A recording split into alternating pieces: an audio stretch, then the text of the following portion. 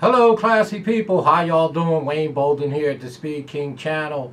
On Friday, federal prosecutors uh, filed their sentencing report with the judge for Jorge Navarro. Of course, former trainer.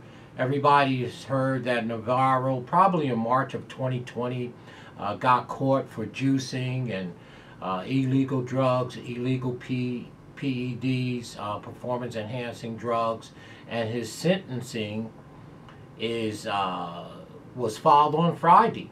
Um, and I pulled it off of uh, the legal website, and I'll put the link down there so you could be able to go read it. And it is just absolutely fascinating in terms of the length of what people would do, or some people, in this case, Jorge Navarro, better known as the Juice Man, would do to enhance for what the prosecutor says greed, fame, and money.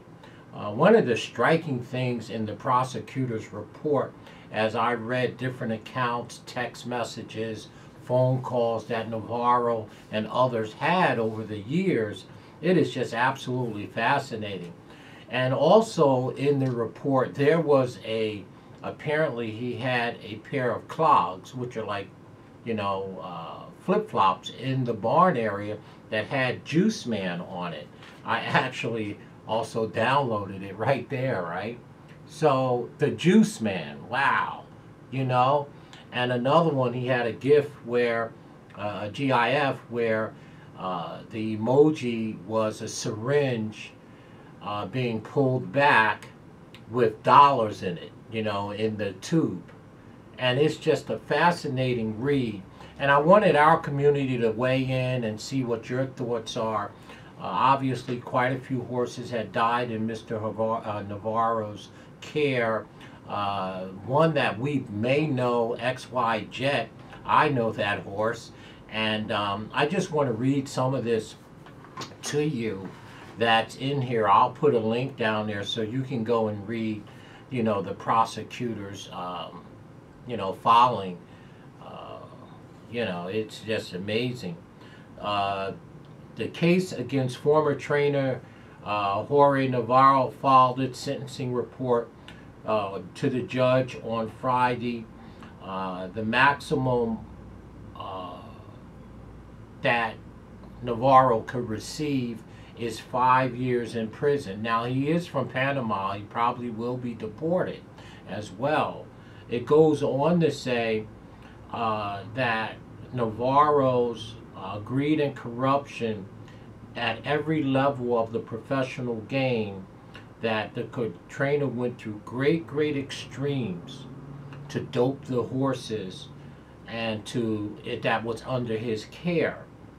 Um, it is uh, all kinds of stuff in here acknowledging that Navarro never acknowledged the seriousness of the crime, along with him and very, very many people who had to conspire to make it happen, from grooms to assistants to owners. I mean, the implications, the names that's in this here report that the prosecutor filed is, wow, it reads like a who's who.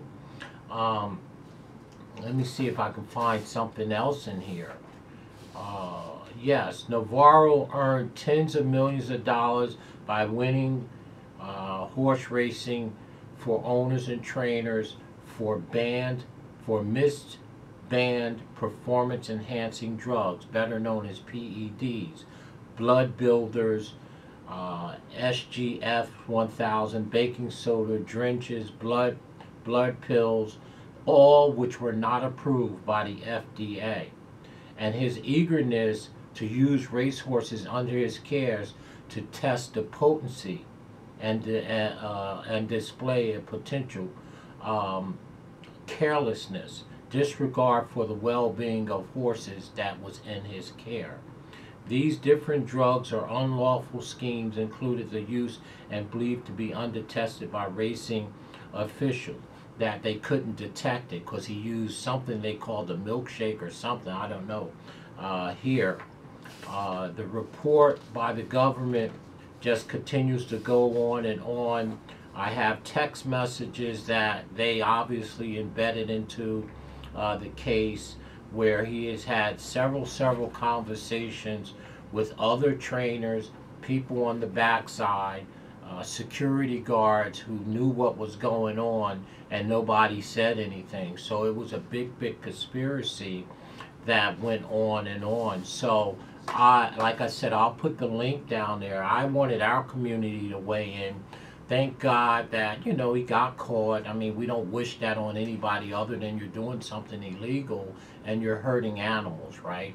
Our equine animals. So his sentencing is coming up, I believe, very shortly. I think around the 17th of December.